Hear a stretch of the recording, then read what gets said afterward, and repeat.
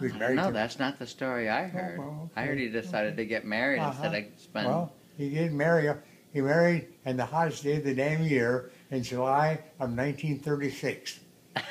I got married five years after he did. I'm a year older than he was. He couldn't wait to get married, Mad Aunt Madeline. oh, I, yeah. I don't know.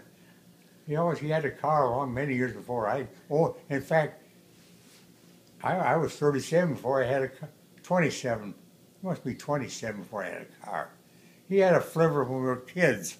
He had an old Ford. I remember that. An old Model T Ford. Right, Oh right. boy. yeah.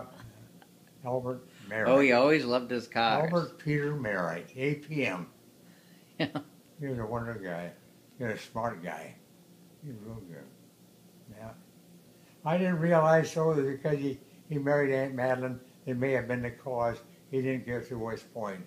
He ready to marry her and become a full military man. Mhm. What, what was your dad's oldest rank? Your dad's. Hmm? Your dad was in the military? Yeah. Oh, yeah. What rank did he have? Lieutenant Colonel. Lieutenant Colonel, eh? Yeah. Uh-huh.